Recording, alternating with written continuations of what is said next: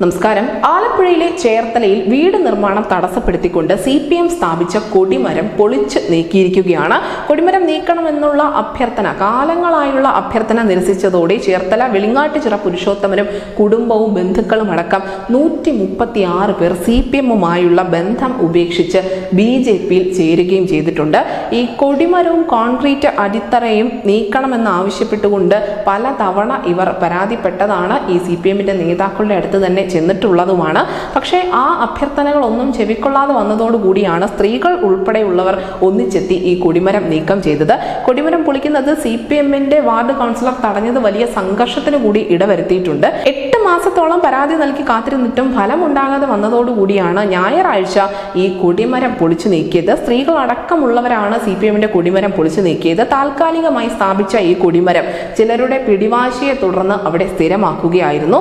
പുന്നപ്ര വയലാർ സമരവാർഷിക സമരവാർഷികാചരണത്തിന്റെ ഭാഗമായാണ് ഈ പുരുഷോത്തമന്റെ വീട്ടിലേക്കുള്ള വഴിയിൽ താൽക്കാലികമായി സി പി എമ്മിന്റെ ഒരു കൊടിമരം സ്ഥാപിച്ചത്.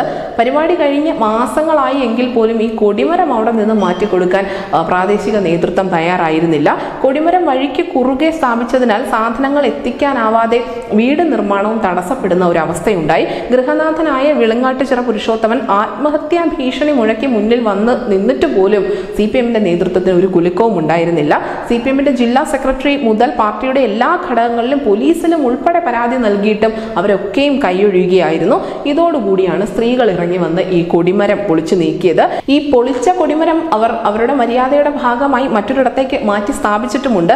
ചേർത്തല പോലീസിന്റെ സാന്നിധ്യത്തിൽ ഒത്തുതീർപ്പ് ചർച്ചകൾ നടത്തിയാണ് ഈ കൊടിമരം വഴിയരികിലേക്ക് നീക്കിയത്. എളുപ്പത്തിൽ പരിഹരിക്കാവുന്ന ഒരു പ്രശ്നം. അത് പാർട്ടി നേതൃത്വം വേണ്ട രീതിയിൽ ഇടപെടാതെ അല്ലെങ്കിൽ പരിഹരിക്കാതെ വന്നതോടുകൂടിയാണ് വലിയ ഒരു തിരിച്ചടി രാഷ്ട്രീയമായ ഒരു നഷ്ടം ചേർത്തലയിൽ സി പി എമ്മിന് ഉണ്ടായിരിക്കുന്നത്. ഇത്തരത്തിൽ സാധാരണക്കാരായ മനുഷ്യർ ഉന്നയിക്കുന്ന പല വിഷയങ്ങളും ഇപ്പോൾ കേരളത്തിലെ ഇടതു മുന്നണി കേൾക്കുന്നുണ്ടോ ഇല്ലയോ എന്നുള്ള ചോദ്യം നിലനിൽക്കുന്നുണ്ട്. അത്തരത്തിൽ തങ്ങളുടെ പ്രശ്നങ്ങൾ അഡ്രസ്സ് ചെയ്യപ്പെടാതെ വരുമ്പോൾ അല്ലെങ്കിൽ ഏറെക്കാലമായി അവഗണിച്ചുകൊണ്ടേ ഇരിക്കുമ്പോൾ ജനങ്ങൾ മാറി ചിന്തിക്കും. അങ്ങനെ മാറി ചിന്തിച്ചതിന്റെ ഭാഗമായി തന്നെയാണ് അവർ ഇപ്പോൾ ബി ജെ പിയിലേക്ക് എത്തിയിരിക്കുന്നത്. News desk news D Malayalam.